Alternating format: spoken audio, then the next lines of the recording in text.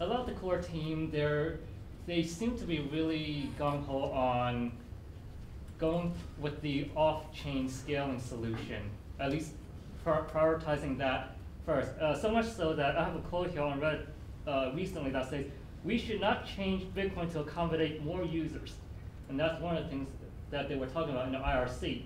So uh, as a, so they were going with like the, the SegWit soft forking rather than let's say going with the hard forking, and they were also criticized, notably like by uh, other people like Jeff Garzik, uh, of the risks that are inherent by going with the more complicated solution.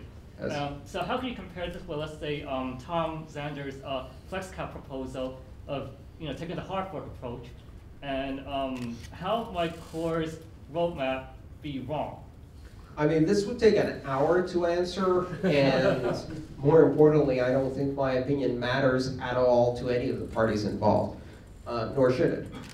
Um, this debate about uh, big blocks and small blocks and how we scale Bitcoin, first of all, I don't think it's accurate to say the core uh, is focused on not scaling the core layer. Uh, it's, as you said, it's a prioritization issue. Which one gets prioritized first? Um, now,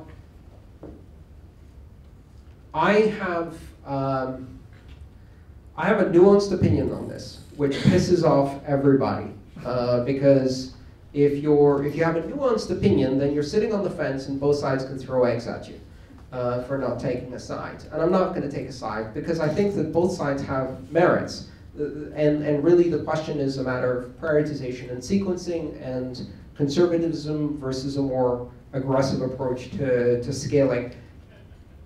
From time to time, my opinion has changed um, as I've seen new data. More recently, um, two days after the Ethereum fork, I thought, whoa, that went extremely well. A clear 95-5% split, technologically executed beautifully. This is going to put a lot of pressure on Core to come up with a similar solution for Bitcoin. I was wrong. I was very wrong because a week later, actually two weeks later, um, we discovered that even though technologically the fork worked, politically it failed, and suddenly you ended up with a 70-30 split. And that was a disaster because there was not enough provision in the software to deal with replay attacks. It cost a lot of exchanges some money. I think there's some people from Coinbase in here um, who may have you know, suffered some losses because of that, uh, because of the replay attacks.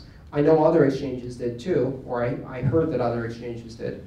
So now, after that, my opinion was revised, you know, and I think in Bitcoin, politically, a hard fork is a hell of a lot more difficult and will cause a deeper schism.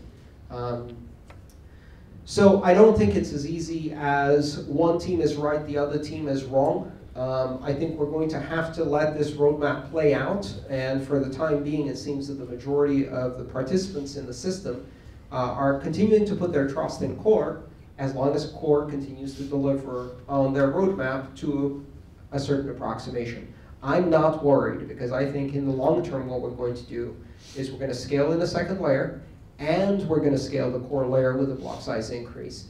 And we're going to do network optimizations, and, and, and. The scaling options are not either or, they're and, and, and, and you just have to decide which comes first.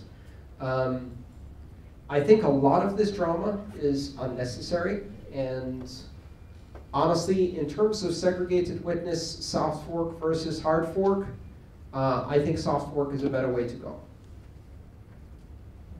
I do. I think we're going to get it cleaner and quicker than uh, a hard fork. I think a hard fork, given the current political situation of Bitcoin, is way too dangerous. Even if it was for something that everybody agreed on, like SegWit, which I, I don't think you would even get that agreement.